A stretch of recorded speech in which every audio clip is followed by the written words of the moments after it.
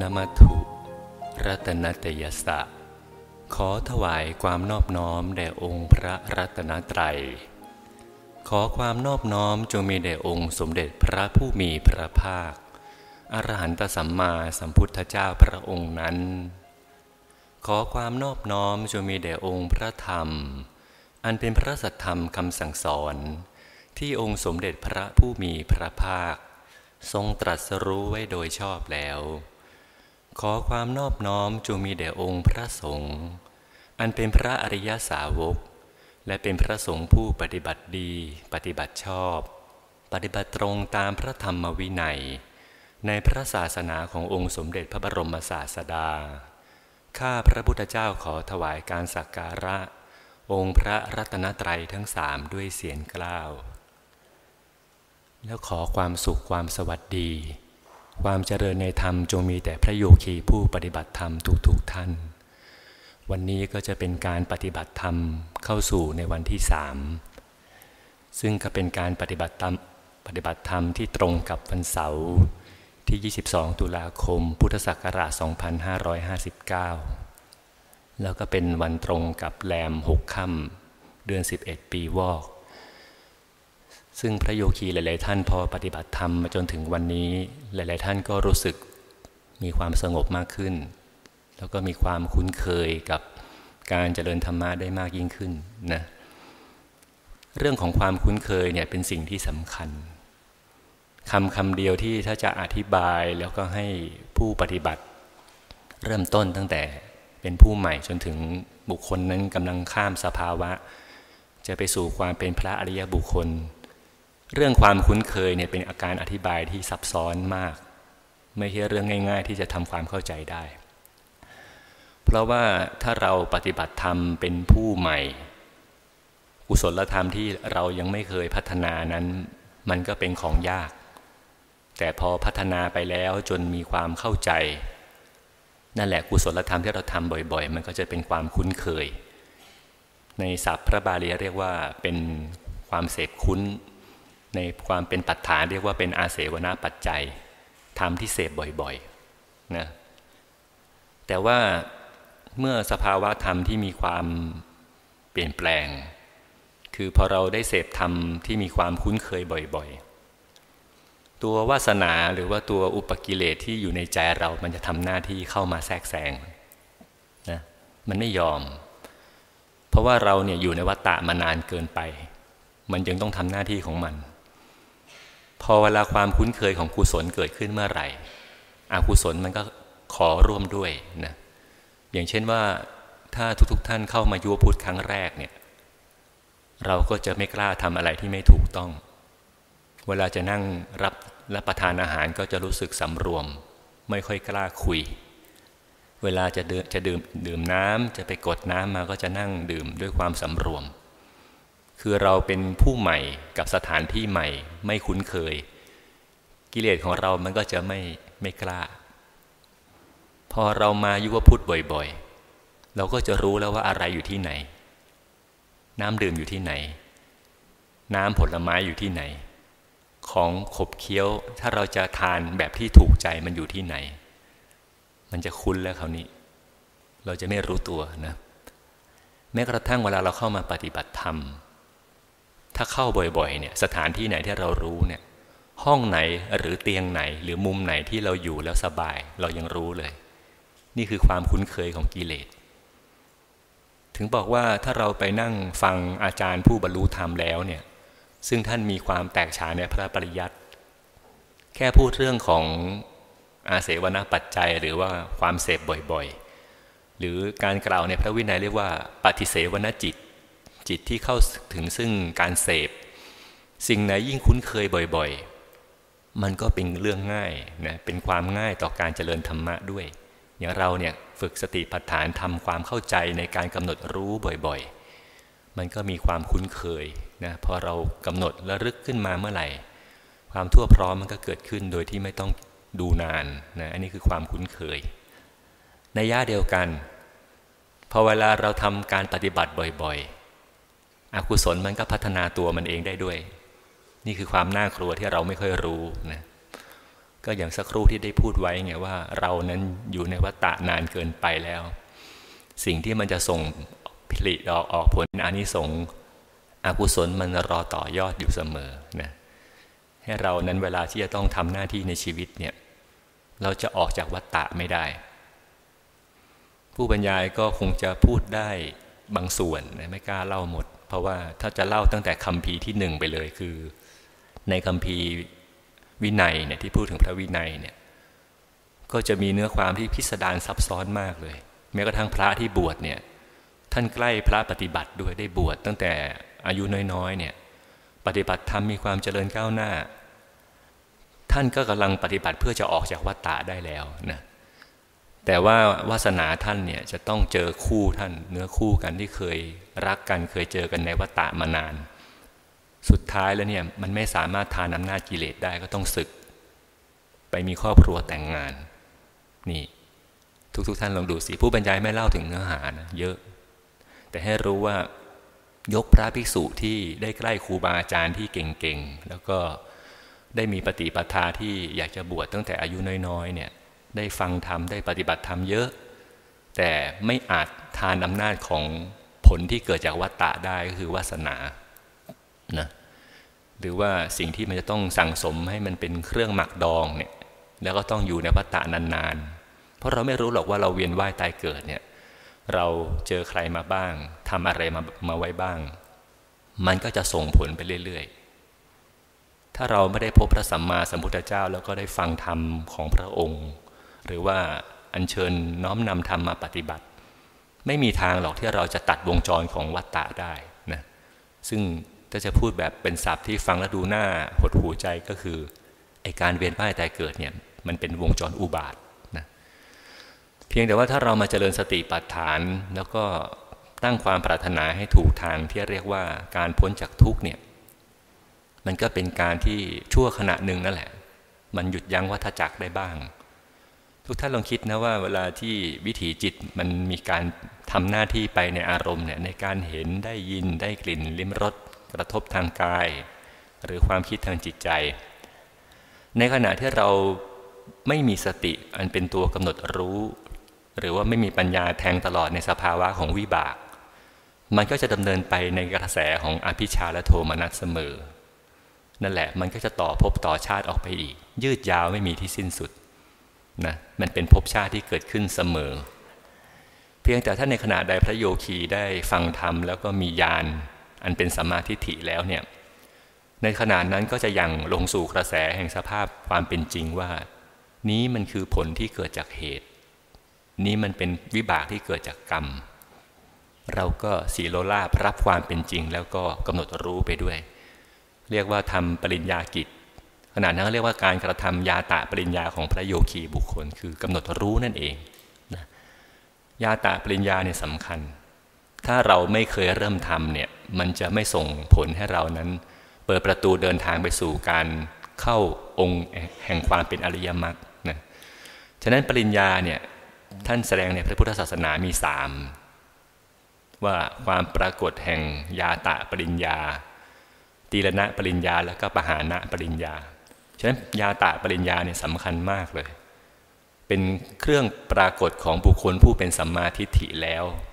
แล้วก็เปิดประตูไปสู่ในการจะเดินเพื่อบรรลุพระนิพพาน เริ่มนะเริ่มดังนั้นถึงบอกว่าในขณะที่เรานั้นตั้งความปรารถนาในการจะหมดจากกองกิเลสเป็นไปเพื่อการออกจากกองทุกเนี่ยมันก็เป็นการตั้งความปรารถนาที่อยู่ในมโนรถ แต่ยังไม่กระทำความเป็นจริงนะคือกระทำให้แจ้งเนี่ยยังยังรออยู่ ก็ต้องผ่านการสั่งสมบารรมีอีกนะในบารรมีทั้ง 10 ประการเนี่ยตั้งแต่การให้ทานเป็นต้นจนจบอุเบกขาเนี่ยรวมแล้ว 10 ประการ ทุกๆ คนเลยที่จะบรรลุความเป็นพระอริยบุคคล ถ้าบารรมีสิบทัศของเรานั้นไม่สมบูรณ์ เราไม่สามารถจะออกจากวัฏฏะได้นะสิบประการ แต่ว่าถ้า ผู้ใดปรารถนาความเป็นพระสัมมาสัมพุทธเจ้า คือพระพุทธเจ้าเนี่ยจะเป็นผู้ที่ตรัสรู้โดยพระองค์เองนะแต่ก็จะมีพระพุทธเจ้าเนี่ยสองแบบแบบที่ตรัสรู้แล้วสามารถจะแสดงธรรมโปรดหมู่สัตว์ได้ ก็เรียกว่าเป็นสัมมาสัมพุทธเจ้า แต่ว่าถ้าพระพุทธเจ้าที่ไม่สามารถที่จะแสดงธรรมได้ แต่ตรัสรู้ชอบได้ด้วยพระองค์เองก็เป็นปัจเจกพุทธเจ้านะมีสองแบบ ดังนั้นคำว่าสัมมาสัมพุทธะเนี่ยก็จะแบ่งออกเป็นอีกสามอย่างนะแบ่งเป็นสัมมาสัมพุทธะที่เป็นปัญญาธิกะ แล้วก็แบ่งสัมมาสัมพุทธะที่เป็นวิทยาธิกะ แล้วก็เป็นสัมมาสัมพุทธะที่เป็นศรัทธาธิกะนี่แบ่งออกไปอีก นั้นการสร้างบารมีเพื่อความเป็นสัมมาสัมพุทธสัมพุทธเจ้าที่เป็นปัญญาธิกะ ก็จะใช้ระยะเวลาเนี่ยยีอสงไขยยี่สิบอสงไขยเนี่ยคือเต็ม แต่ว่าเมื่อรวมเข้าถึงซึ่งความเป็นยิ่งเนี่ยอันยิ่งก็คือ ความเป็นปรมัตถะเนี่ยทั้งกายะวจีมโนรวมแล้วเนี่ยสุทธิจนเข้าสู่รอบสุดท้ายเนี่ยก็คือนับแล้วเสียทรงไขแสนกับ ในเสียทรงไขแสนกับเนี่ยก็จะต้องสร้างบารมีให้เต็ม 30 ทัศนั้นพระพุทธเจ้าทั้งหลายเนี่ยจะต้องสร้างบารมีเนี่ยที่เป็นบารมีเบื้องต้นเนี่ยสิแล้วก็สร้างบารมีขั้นกลางเป็นอุปบารมีอีกสิบ แล้วก็สร้างปรมัตถบารมีอีกสิบรวมแล้ว 30 ทัศนี่เป็นการสั่งสมบุญของความเป็นสัมมาสัมพุทธะก็คือสัมมาสัมพุทธเจ้า แต่ว่าถ้าบุคคลใด ๆ ตั้งความปรารถนาเป็นพระสัมมาสัมพุทธเจ้าแล้ว แล้วก็การสร้างบารรมีนั้นเหน็ดเหนื่อยมาก คือตกนรกบ่อยมาก ไม่ต้องนับการตกนรกว่าบ่อยแค่ไหนนะแล้วก็เหน็ดเหนื่อยแก่การจะต้องมาสอนบุคคลผู้ไม่รู้เนี่ย ซึ่งพระองค์ถ้าเกิดจะสร้างบารรมีเพื่อบรรลุเป็นอรหันต์เนี่ยท่านเป็นอรหันต์ได้ตั้งนานแล้วแต่จะต้องรอการโปรดสัตว์เนี่ยพระองค์บำเพ็ญบ่มพระโพธิญาณดังนั้นการที่เวลามาสอนธรรมะกับคนที่มีธรรมะแล้วกับสอนธรรมะกับคนชั่ว ให้ละความชั่วแล้วทำความดี สอนคนชั่วแล้วให้เขากลับจากความชั่วมาทำความดีเนี่ยบารรมีมันจะแก่กล้ามากเลยฉะนั้นพระโพธิสัตว์จะต้องลงมาแลกกับการมาเกิดในมนุษย์ เกิดในที่ที่เป็นวิปโยคกะลียุค หรือว่าไปเกิดในยุคของบุคคลผู้ไม่ตั้งอยู่ในศีลแล้วให้กลับมารักษาศีลเนี่ยนั่นคือเป็นวิสัยของพระโพธิสัตว์ที่จะต้องแลกด้วยการมาเกิด ถ้าทุกๆทท่านอุปมาว่าตอนนี้เรากำลังไปอยู่ในชั้นดุสิตกันหมด เราจะรู้เลยว่าความน่าสะพึงกลัวเนี่ยมีมากแค่ไหน แต่พระโพธิสัตว์องค์ไหนในบรรดา 400ถึง500โกดล้านในดุสิตเนี่ยยอมจะลงมาเกิดนะ ทุกๆทท่านแค่ว่าการในเกิดในดุสิตเนี่ยยากอยู่แล้ว ไม่ใช่เรื่องง่าย แต่ถ้ามีเทวดาเนี่ยแค่หนึ่งโกดหนึ่งโกดเนี่ยสิบล้าน ถ้าสี่ร้อยถึงห้าร้อยโกดล้านเนี่ยของพระโพธิสัตว์ทุกๆท่านคิดว่ามากแค่ไหนล่ะเราจะรู้สึกโอ้โหพระโพธิสัตว์ทำไมมากมายเหลือเกิน แต่ในบรรดาพระโพธิสัตว์เหล่านั้นเนี่ยมีความรู้มาก มีความศรัทธามาก ที่จะมาเป็นผู้โปรดสัตว์ แต่พอรอลงมาเกิดเนี่ย บางพระองค์ไม่กล้าลงมาเกิด เพราะถ้าลงมาแล้วเนี่ย แล้วถ้าพลาดจะไม่ได้กลับไปบนชั้นดุสิต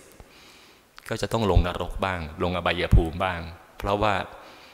ไม่สามารถการันตีได้ว่าลงมาแรกแล้วเนี่ย จะกลับไปอยู่ที่เดิมได้ หรือจะได้อยู่ในภูมิที่เป็นเทวดาหรือเปล่า หรือจะได้อยู่ในมนุษย์หรือเปล่า อาจจะแย่ลงไปคือไปลงอบายภูมิก็ได้ นี่คือพระโพธิสัตว์ทั้งหลายเนี่ยจะต้อง รับความจริงเรื่องนี้ให้ได้ แล้วก็ลงมาเวียนว่ายตายเกิด แล้วก็ต้องรอลงมาเกิดในสมัยที่มีบัณฑิตมาเกิด มีพระโพธิสัตว์องค์ใหญ่ ๆ องค์ที่เป็นนิยตะมาสร้างบารรมี ก็ลงมาเพื่อมาขออยู่ใกล้ ๆ เพราะว่าท่านเป็นพระโพธิสัตว์ที่บารรมียังอ่อนอยู่นะนั้นถ้าสมัยใดที่พระโพธิสัตว์องค์ใดได้รับการพยากรณ์แล้วเป็นนิยตะโพธิสัตว์ นั่นแหละ สมัยนั้นเราก็รู้แล้วว่าแน่นอนเลยพระพุทธเจ้าจะต้องอุบัติเกิดขึ้นในอนาคต กี่องค์ กี่พระองค์นะในอนาคตวงเนี่ยจะมีสิบพระองค์ที่ตรัสรู้แน่นอนเป็นเป็นพระพุทธเจ้า ดังนั้นถ้าเรากล่าวถึงบอกว่าพระโพธิสัตว์ที่ได้รับการพยากรณ์แล้วเนี่ยเหล่านี้มีพลังมีกำลังมาก ก็จะกล้าลงมาเกิดซ้ำๆบ่อยๆ ท่านจะไม่อยู่บนสวรรค์นานทุกๆ ท่าน เพราะท่านได้รับการการันตีจากผู้ที่เป็นยอดพิภพแล้วก็คืออัคคมหาบัณฑิต อันได้แก่พระสัมมาสัมพุทธเจ้า แต่ละพระองค์ว่า ท่านจะได้ตรัสรู้เป็นพระพุทธเจ้านามว่าอะไรแน่นอนอีกกี่อสงไขยผ่านพระพุทธเจ้าอีกกี่พระองค์ นั่นแหละเหมือนกับได้รับรับเกราะคุ้มตัวเองแล้วจากพระพุทธเจ้าว่าจะได้ตรัสรู้แน่นอน จึงลงมาซ้ำๆแบบไม่ต้องนับว่ากี่ภพกี่ชาติ เพื่อความเป็นมนุษย์ หรือเพื่อความเป็นสัตว์ดิลฉานทุกๆท่านลองลองมองสิว่า แม้มาเป็นสัตว์ดิลฉานก็ยอมลงมาเกิด เพราะแน่นอนแล้วว่าจะต้องได้ตรัสรู้เป็นพระพุทธเจ้านะนี่คือความสำคัญของการที่เรานั้นได้อยู่ในพระพุทธศาสนา ได้ฟังธรรมของบัณฑิตที่รู้การตัดวัฏจักรของวงจรอุบาทได้คือการเกิด นั่นแหละวัฏจักรที่เรากำลังเดินทางเนี่ยเรียกว่าวิวัตตคามินีกุศลน เป็นกุศลที่เราทำแล้วเนี่ยไม่ใช่กลับมาเวียนว่ายตายเกิด เหมือนพระโพธิสัตว์ทั้งหลาย เหมือนที่เมื่อสักครู่ท่านสวดมนต์ด้วยทำวัดด้วย การสวดมนต์ทำวัดเมื่อกี้ในบทสุดท้ายนั่นแหละ ที่ขอให้เราเหมือนพระโพธิสัตว์ เหมือนนะไม่ใช่เป็นพระโพธิสัตว์ แล้วก็แน่นอนแห่งการตรัสรู้แล้ว เพราะได้ได้รับการพยากรณ์ว่าจะตรัสรู้แน่นอน อย่างเราเนี่ยถ้ามีพระอริยบุคคลท่านไหนบอกพวกโยมเนี่ยจะได้ตรัสรู้แน่นอนในยุคของพระศรีอาน เราก็โอ้ไม่ใช่องค์โคดมนะเราต้องรอพระพุทธเจ้าองค์ที่ห้าพวกโยมจะได้ตรัสรู้แน่นอนในยุคของพระเจ้าประสิทธิโกศลที่จะไปเป็นพระราชาผู้ทรงธรรมแล้วออกมหาพิเนศกรม ในพระพุทธเจ้าองค์ต่อไปของโลกหน้าไม่ใช่โลกใบนี้ โลกใบนี้ที่เราอยู่วันข้างหน้าจะแตกนะทุกๆท่าน แล้วก็วันนั้นแหละจะเป็นวันที่สัตว์ทั้งหลายเนี่ยรอการไปสู่โลกใบใหม่ แล้วสัตว์เหล่าใดที่มีปุญญานิสงทั้งหมดจะบรรลุธรรมก่อนที่โลกจะแตกนะเพราะว่าพระอาทิตย์ก่อนที่จะขึ้นทั้งเจ็ดดวงเนี่ยสัตว์เหล่านั้นจะได้รับการแสดงธรรมกับพระพุทธเจ้าองค์สุดท้ายก็คือพระศรีอริยเมตไตรจะมาตรัสรู้ แล้วหลังจากนั้นจะมีพระปัจเจกับพุทธเจ้าอีกหลายพระองค์ลงมาเกิด และก็ขึ้นมาจากอบายภูมิมาเกิดนะบางสมัยจะมี 10 องค์ บางสมัยจะมี 200 องค์ 300 องค์ขึ้นมา ท่านจะอยู่กันเหมือนฤาษีเนี่ยไม่ไม่สนทนากันไม่คุยกัน แล้วก็จะไม่มีใครรู้ด้วยว่าฤาษีเหล่านั้นเนี่ยคือพระปัจเจกพุทธเจ้า นั่นแหละจะเก็บตกมนุษย์ที่ไม่ได้ฟังธรรมและบรรลุเนี่ยไปเจอเหล่าบุคคลเหล่านั้นผู้เป็นบัณฑิต และเราก็จะได้กราบได้ไหว้บุคคลผู้มีศีล แล้วก็จะได้ไปเวียนว่ายตายเกิดในชั้นพรหมในเทวโลก ที่รอการแตกของโลกที่พระอาทิตย์ขึ้นทั้งหมดเจ็ดดวงนะ ทุกท่านว่าแค่ดวงเดียวร้อนไหมช่วงหน้าร้อนร้อนนะจะขึ้นทั้งหมดเจ็ดดวงทุกทุกท่าน ดูไว้เลยวันข้างหน้า ถ้าใครถึงยุคนั้นเนี่ยแสดงว่ายังมีบาปเหลือมากยังต้องเกิดกับบุคคลเหล่านั้นมีบุญมาก เพราะเพราะเป็นพระโพธิสัตว์นะต้องสร้างบารรมีก็ต้องอยู่ไปนานๆดังนั้นถึงบอกว่าถ้าเราตั้งความปรารถนา หรือถ้ามีใครพยากรณ์เราแล้วว่าเราจะได้ตรัสรู้แน่นอนเป็นพระอริยบุคคล พระพุทธเจ้านามว่าอะไร เราก็จะมั่นใจมากขึ้นว่า อืม ยังไงยังไงก็ตามเรานั้นจะต้องหลุดพ้นแน่นอน แต่เราทุกๆ คนไม่มีใครแน่นอนในที่นี้ แล้วก็การันตีแน่นอนว่าเราจะต้องอยู่ในวัฏฏะนานๆนะนั้นการที่เราปฏิบัติธรรมเพื่อวิวัตตะคามินีกุศลเนี่ยสำคัญ เป็นกุศลที่ออกจากภพชาติ อย่างเราใส่บาตรเนี่ยปรารถนาเราเกิดชาติไหนเนี่ยก็อย่าอย่ามีคำว่าอด ขอให้ได้มีการดื่มการกินอยู่บ่อยๆ การใส่บาตรนั้นถือว่าไม่นับเข้าสู่การที่จะออกจากวัฏฏะเพราะว่าเป็นการอธิษฐานหรือการตั้งความปรารถนาเพื่อกองทุกเนี่ยเรียกว่าวัตตะคามินีกุศล แต่คำว่าวิวัตตะเนี่ยคำว่าวิแปลว่าแจ้งนะวิวัตตะคามินีก็คือเป็นการกระทำกุศลที่มันไม่ต้องการอยู่ในภพไม่ต้องการปรากฏอุบัติอยู่ในภพใด ๆ ก็ตาม เราใส่บาตรเนี่ยแล้วเราก็ปรารถนามากผลนิพพาน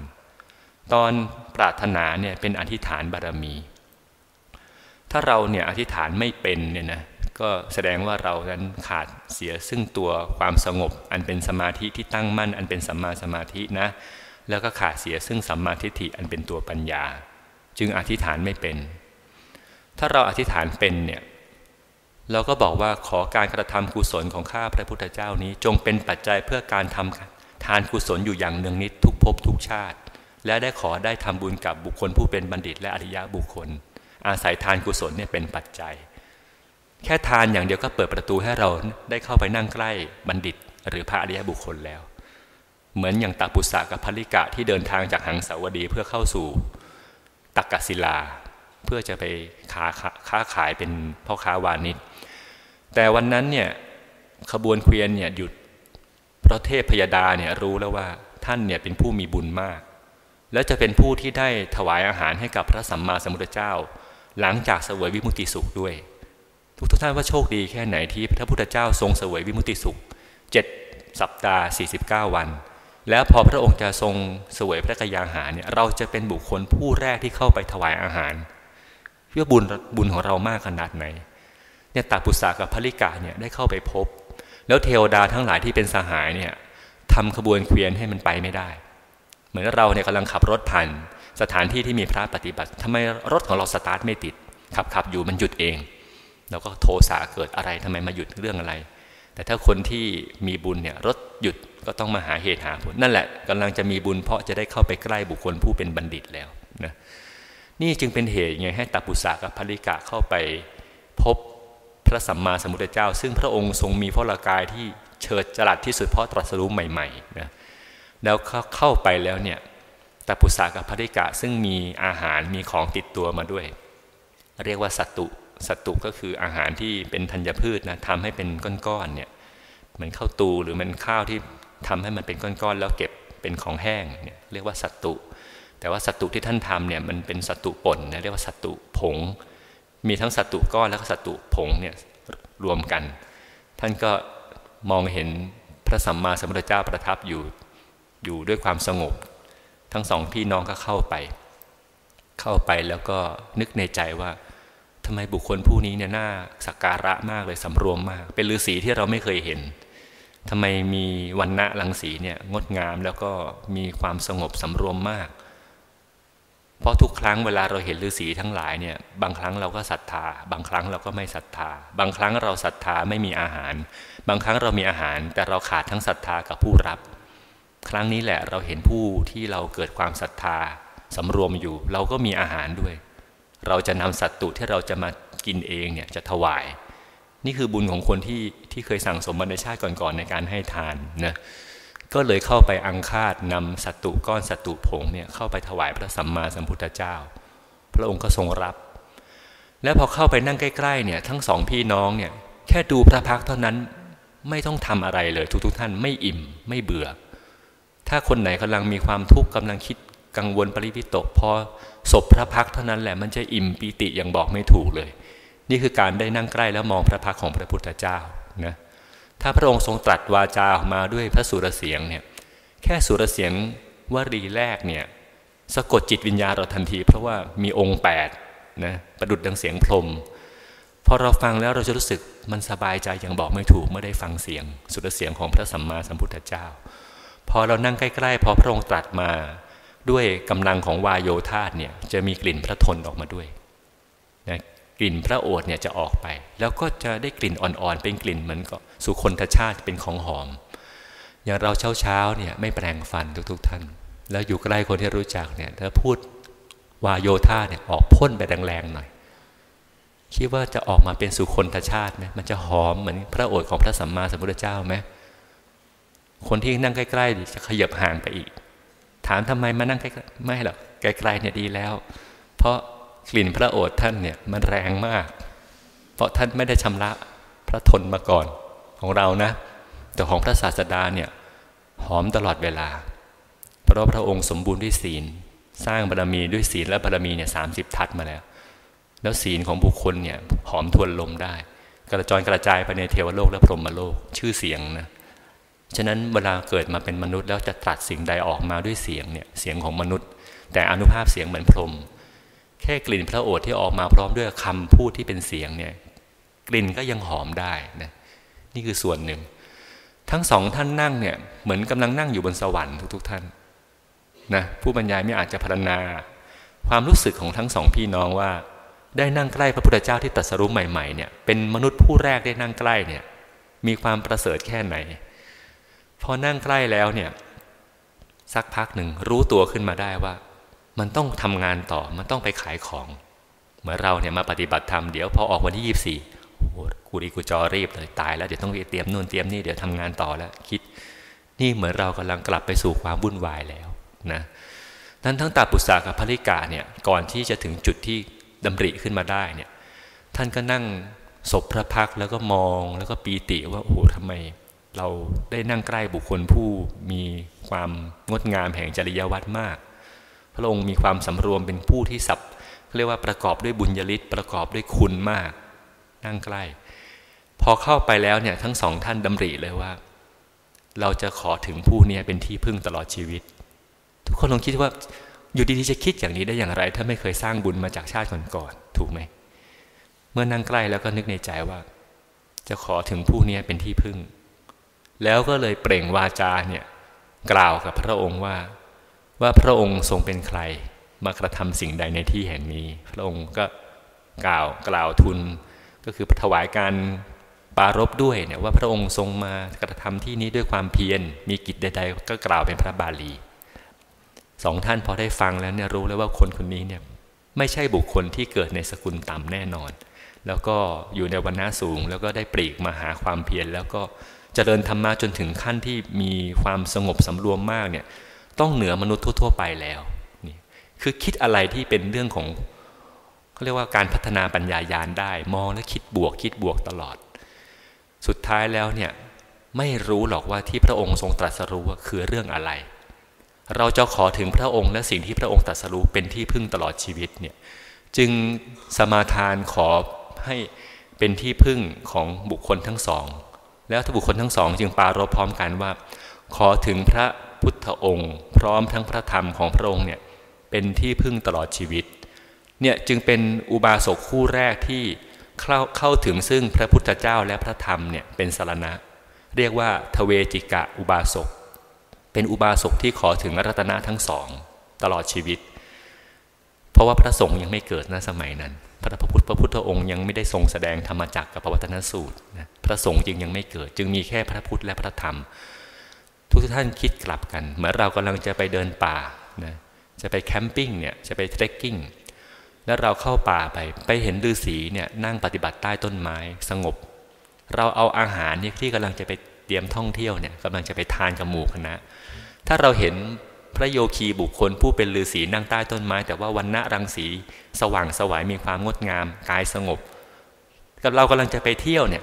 เราจะเข้าไปกราบไหมเอาอาหารเข้าไปถวายไหมคิดเราคิดของเราก่อน พอเข้าไปแล้วเนี่ย เราเห็นฤาษีท่านนั้นนั่งอยู่ เราจะคิดว่าขอฤาษีผู้นั้นเป็นอาจารย์กับเรา แล้วก็ขอถึงที่พึ่งเนี่ยตลอดชีวิต เราจะเราจะคิดอย่างนั้นไหมต้องคิดก่อน และเราจะคิดว่าพระ องค์ หรือฤาษีองค์นั้นตรัสรู้ธรรมใด เราขอถึงธรรมที่ท่านตรัสรู้เนี่ยตลอดชีวิตทั้งๆทที่เรายังไม่ได้ฟังเลย ไม่ได้เรียนเลยแม้แต่คาถาเดียว แต่ขอถึงสิ่งนั้นตลอดชีวิต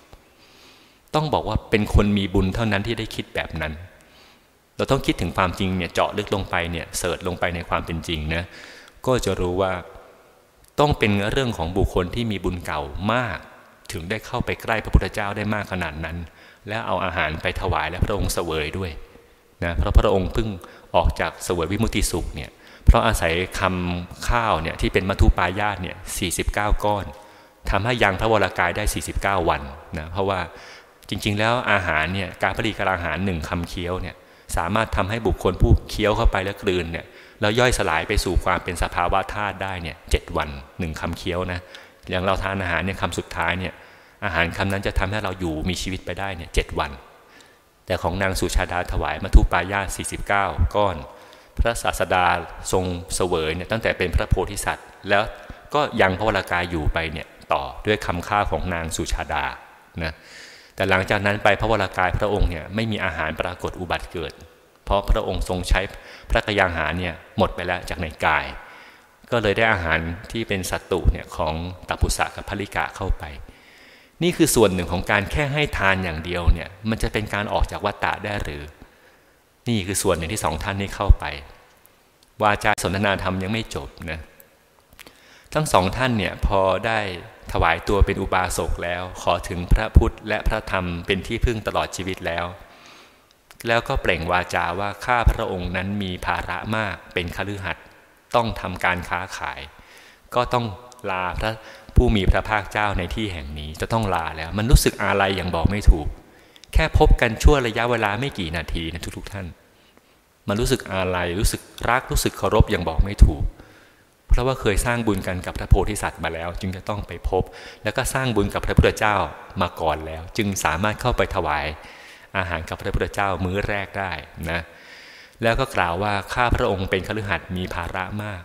แต่ข้าพระองค์เมื่อพบพระองค์แล้วเป็นที่พึ่ง แล้วถ้าไม่ได้แล้วถ้าจากจากพระองค์ไปแล้วเนี่ยข้าพระองค์จะพึ่งอะไรได้